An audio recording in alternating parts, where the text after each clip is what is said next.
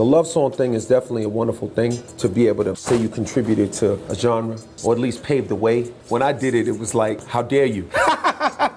the majority of the things I've done in my rap career have been how dare you. How dare you wear gold chains and have champagne on your album cover in 89